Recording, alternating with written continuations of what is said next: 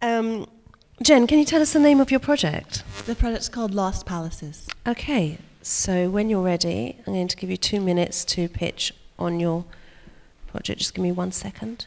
So what I want to do is imagine even one of the spaces in this schoolyard was, or in the school was once occupied by um, a palace, and then maybe about the Renaissance era, and that that um, is the inspiration for creating a kind of the ghosts of the people that used to be here.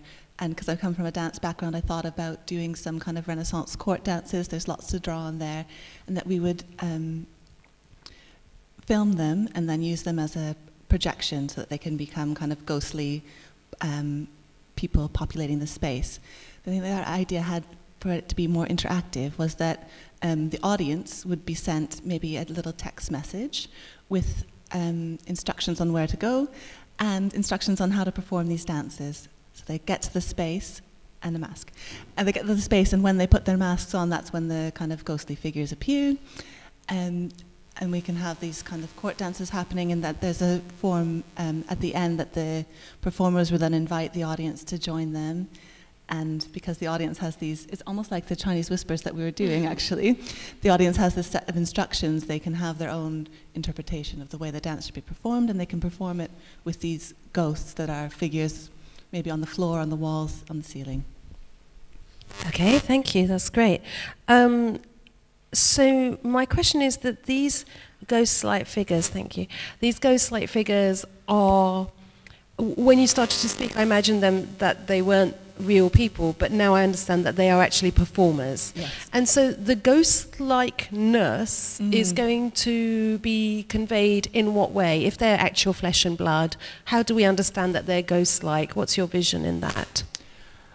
I think it's through the way that they're filmed and the way mm-hmm. that they're projected. I think there might be some ways of maybe softening the focus mm-hmm. or maybe using slow motion or the fact like when the mask goes on maybe they kind of slowly appear slowly materialize um, yeah something in the in the filmmaking or in the kind of after effects mm-hmm. that we mm-hmm. can have that and the other reason i wanted to use projection was because it does have that kind of ephemeral quality to yeah. it, doesn't it? Absolutely. And what's the relationship then with the performer and the projection? What I mean is that what are the audience looking at? Are we looking when do we stop looking at projections and start looking at real bodies or what's the shape of that? So far in my imagination the performer is only in the projection and that the the real bodies in the space are the audience. So right. it's the audience that then join this kind of I see. So at no point does the audience see a real dancer. They're always looking at the projection of a real dancer. Yeah. But the real dancer is there in space, in time and space,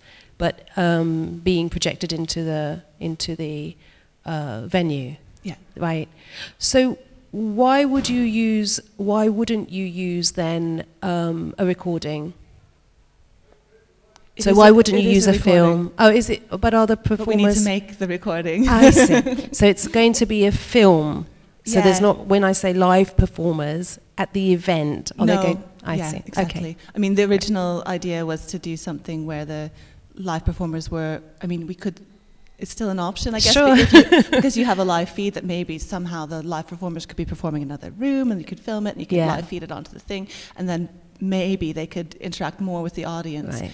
But because we don't have like infrared and all these kind of things to okay. sense the audience tracking, I thought maybe a simpler version okay. could be to just make a film. Okay, well that's a really good thing to know, I think, for the hacking process. I'm going to open it up to the audience now.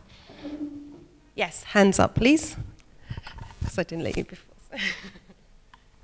um, do you think that possibly if they're um, sometimes the general public, if they're not dancers or theatrical people, that they might feel a bit reserved in getting in there, and if, even if they've got text messages to start dancing, without any one kind of in there initiating that and drawing them into that, do you think that would be a problem, or have you thought about how to encourage them to do that in the space without someone? Yeah, definitely. I mean, I think you're right. It's, it's extremely problematic. The idea maybe if people come in groups or in families that it can be a fun game that they play together and that there's that that the other people with you can somehow spur you on.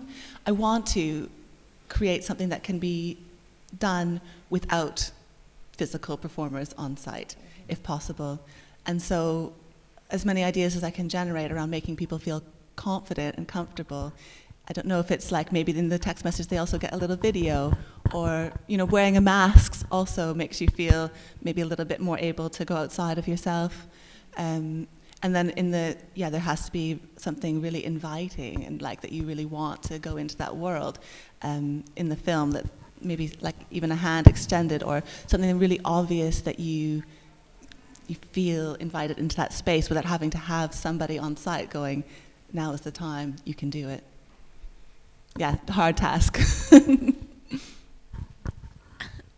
will there be a narrative linked to the performance or um, will you use the, the history of the space that you're in maybe to kind of utilize? Yeah, there definitely could be. I mean, there's loads of, I haven't thought of anything specifically, but there's a lot of stuff about um, masks were used to kind of celebrate the, um, the royalty. They were used to also um, subvert and ask questions. So there could be, I'm really open to asking more political questions and maybe even matching kind of present day concerns to have them. They, what happened was they're kind of disguised. So you're asking these political questions, but because you have these costumes and these masks and these things, you can make it funny or kind of tilt it. So yeah, I think there's scope for that definitely for a kind of narrative that could be developed. Yeah. When I listen to through your whole explanation, it's kind of some, you're thinking about some site specific performance. I feel yeah. like. So you want to order the way all the audience working working follow the your instruction or how do you want to present about the space and performance at the same time? Can you repeat the question again? Uh, how, yeah. Uh, yeah, yeah. Usually, thinking about the site specific, we walking through some several places and then walk, uh, see the space and the desk done and then moving to the other place. But I just wonder how do you want to presenting your ideas? Is it exactly the same, some kinds of standard state, a standard, a standard way to presenting site specific, or you were thinking about in different way to showing because you're just using recording rather than actual, yeah, actual actors or persons. So I just wonder. Let me let me see if I can understand if I've got the question. I think that um, what the question is is that there is a vocabulary around how audiences experience site-specific work. They promenade normally, they go from one place to the other. And I think the question is, are you looking to break convention um, in that, in the audience experience of a site-specific piece?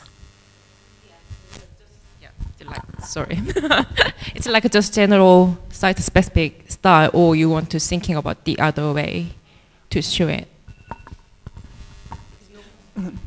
Um, I'm interested in the audience maybe having a, like a personal experience, so that when they, um, so they'll get this kind of text message. They will get like maybe a Google Map or some kind of instruction about how to get there. So when you arrive in the space, and it's like a kind of treasure that you found, and when you put on your mask, that's when the figures appear. So it's um, it's related to the people having the. Uh, it's related to the audience in that way. Does, is that answering? So just to reiterate, the, the, the action of putting on the mask yeah. is what's triggering yeah. you being able to see projection. Exactly. Now, that, but that's not on a one-on-one basis. So if I put on a mask, it also might mean that other audiences also see what I see. Yes, that's okay. true. Yeah.